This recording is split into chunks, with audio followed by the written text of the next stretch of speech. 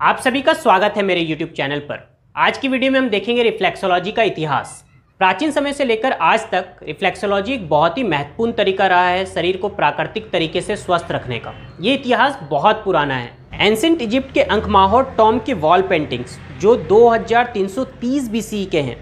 In wall paintings में भी हम क्लियरली देख सकते हैं कि ये रिफ्लेक्सोलॉजी हाथ और पैर के पॉइंट्स को दबा के कर रहे हैं। एंसेंट इजिप्ट के ही इब्रस पपायरस जो एक एंशियंट इजिप्टियन मेडिकल डॉक्यूमेंट है, ये 1550 बीसी की है।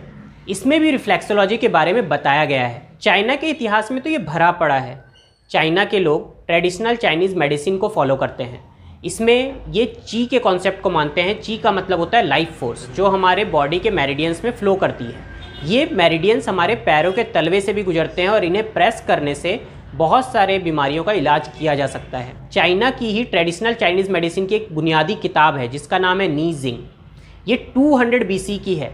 इस किताब में भी बॉडी के एनर्जी को बैलेंस करने के लिए रिफ्लेक्सोलॉजी के बारे में बताया गया है। भारत के इतिहास में भी इसके इंपॉर्टेंस पाए गए हैं। हमारी जो सबसे पुरानी बुक है आयुर्वेदा की, वो है चर्क संहिता। इस किताब में भी फुट मसाज यानी कि पैरों के तलवे के मसाज और उनसे होने वाले फायदों के बारे में बताया गया है। हिपोक्रेट जिन्हें फादर ऑफ़ मेडिसिन कहा जाता है, ये एंशियंट ग्रीक फिजिशियन थे। इन्होंने रिफ्लेक्सोलॉजी के बारे में डायरेक्टली तो नहीं बताया, मगर मसाज के बेनिफिट्स बताए हैं शरीर को हेल्दी रखने के लिए। अभी कुछ सौ साल पहले डॉक्टर विलियम फिट्जरेल ने जॉन थेरेपी इंट्रोड्यूस किया। जॉन थेरेपी के अकॉर्डिंग हमारे पूरे बॉडी को लॉन्गिट्यूटनल लाइंस में डिवाइड किया गया है। इन लाइंस के अकॉर्डिंग अगर स्पेसिफिक पॉइंट पर हम प्रेस करते हैं तो हमें पेन में रिलीफ मिलता है।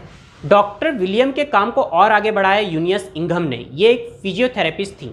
1930 में इन्होंने हमारे शरीर के ऑर्गन्स का और अलग अलग हिस्सों का एक डिटेल रिफ्लेक्स पॉइंट डिज़ाइन किया हमारे पैर के तलवे में और हाथ के हथेली में, जिन्हें हम आज तक यूज़ करते हैं।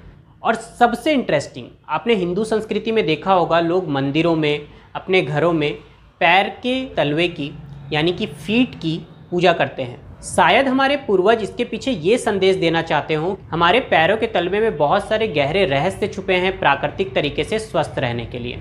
तो आज की वीडियो में हमने डिटेल में देखा रिफ्लेक्सोलॉजी के इतिहास के बारे में। हम नेक्स्ट वीडियो में फिर से मिलेंगे रिफ्लेक्सोलॉजी के किसी और इम्पोर्टेंट टॉपिक के साथ। Thank you